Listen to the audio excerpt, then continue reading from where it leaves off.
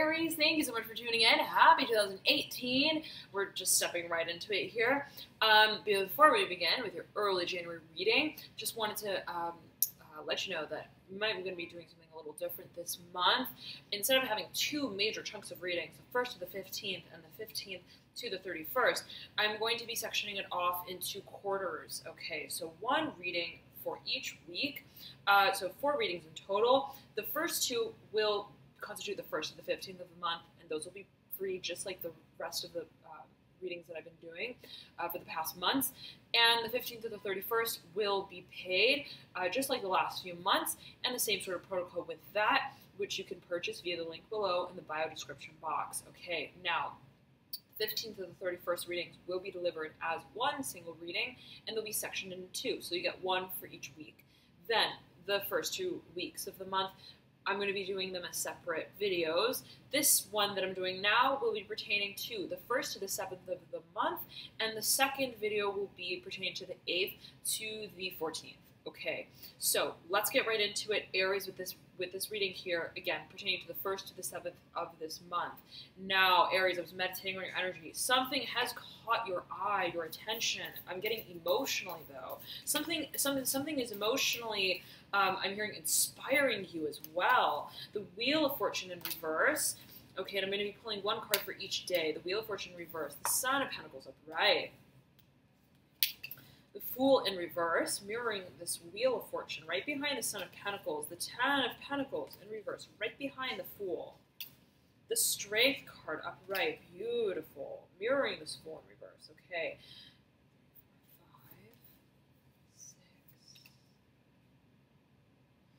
seven. Beautiful energy here. Beautiful energy with the Son of Wands. Okay, mirroring strength. You are coming into your form in some shape or form. I'm hearing Pisces for you. I'm hearing Sagittarius and Capricorn. You are, I'm hearing bright eyed and bushy tailed. There's something that has really, really, really inspired you. You're super excited, Aries, about um, what it is that you are creating by way of your imagination. And there's a focus here on imagination.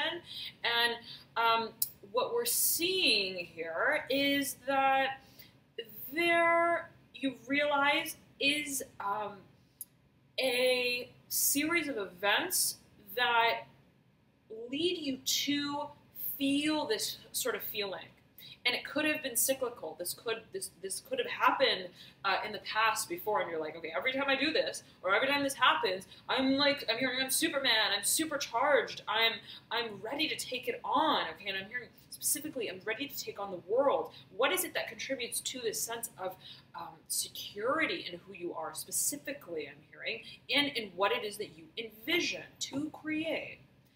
Now, you have stepped into the beginning of the year with the Wheel of Fortune reverse. The Son of Pentacles looking over the Wheel of Fortune reverse.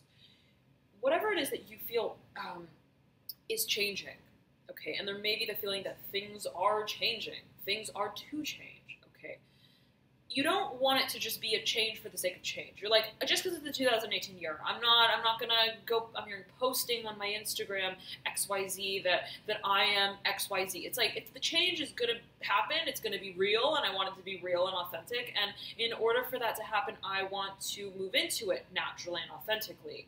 And if that is the case, Aries, you are taking the steps that are needed to ground this new beginning in a way that holds meaning for you, not just in the moment that, excuse me, you make the change happen, but in the, excuse me, one second, but in the long term, okay, in the long term.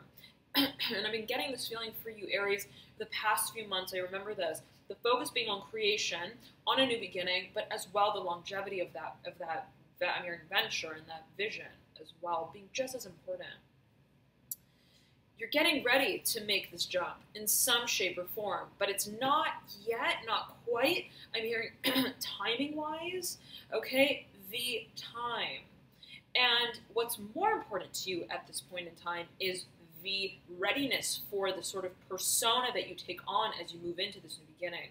And um, it's especially energetically. So it's like if you've been feeling kind of low on energy, the, the focus is on uh, regaining that sense of, uh, I'm hearing also conviction. Okay, the sense of uh, I'm hearing promise of why it is that we feel connected to what it is that we have the vision for, that we feel we want to create into the future.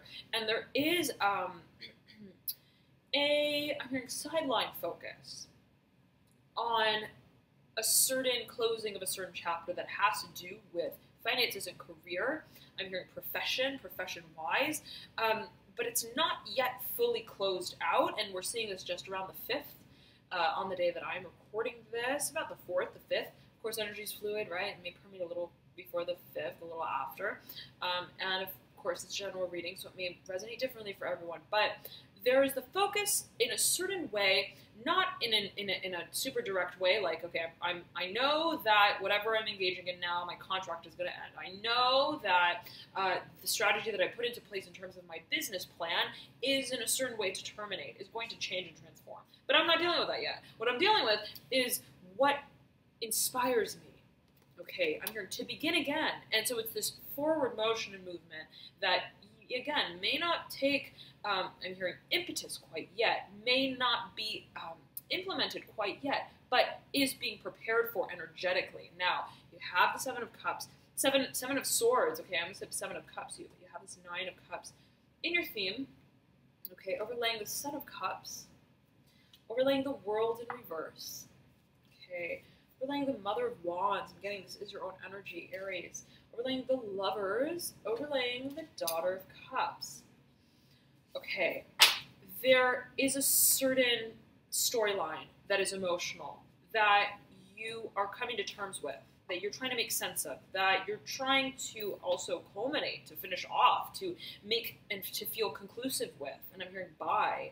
Um, you feel that whatever this emotional experience has, and perhaps it could be from the past, has um, brought you to set up certain, I'm hearing boundaries, visions, visions, boundaries of visions, certain markers of, I'm hearing resistance as well, in terms of how it is that we uh, perceive emotional, uh, I'm hearing as well, opportunities to find their, their way to us. Okay, you are and have been taking on a sort of, um, uh, uh I'm hearing, um, I'm hearing super. I'm hearing superstardom. Okay, superstardom. Something about um, almost uh, feeling above the realm of emotions. I'm getting this in the past in a certain way, perhaps, whereby you feel the focus for me is on what it is that I'm creating on my domain. The emotional values that I have, I'm hearing worked through, I'm also hearing been challenged by, are not the determining factor okay, for change, I'm hearing specifically. And the focus is on creation, what it is that you're manifesting. Um, now, I'm hearing the nitty gritty of the emotional experiences, yet again, are not placing, um, I'm hearing rearing their head in the way that tips you out of balance. Um, you remain balanced, but the focus is on understanding exactly what this emotional experience I'm hearing aligned in a certain way for you.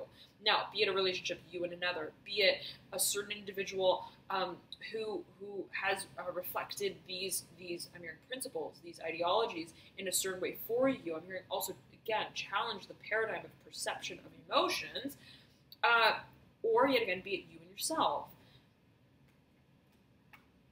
what's being challenged here, Aries, is the concept and the paradigm of emotionalism, flat out. Okay, it's the concept of relation, relationships, partnerships. What role do they play in what we consider to be the world?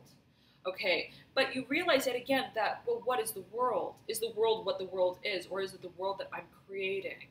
And the focus that I'm seeing here for you is on a certain form of independence that is transmuting how you have entertained certain emotional experiences in the past. Um, okay, now there um, is this propensity though, and you have the Son of Cups and the and the and the Daughter of Cups both mirroring the Mother of Wands. Again, I'm feeling this is your own energy, but take it as you will. The focus, okay, being on this sort of character play, and I'm hearing resonance. What what role do I do I feel I can take on? not completely, I'm hearing as an independent being, and not completely as I'm hearing a dependent being, where I'm not emotionally dependent on another person, but I'm also not emotionally, I'm hearing barricaded, where I'm emotionally receptive, but not, I'm hearing overpowered by how my emotions are to merge with that of another's in a certain way. And there's this, there's this um, I'm hearing emotional maturation that comes through here for you. Uh, the focus being on the ideologies set through let's get right into the next week's reading, approximately spanning the 8th to the 14th. So you feel free to click through that video and we'll see what comes through for that week of the month. Bye, Aries.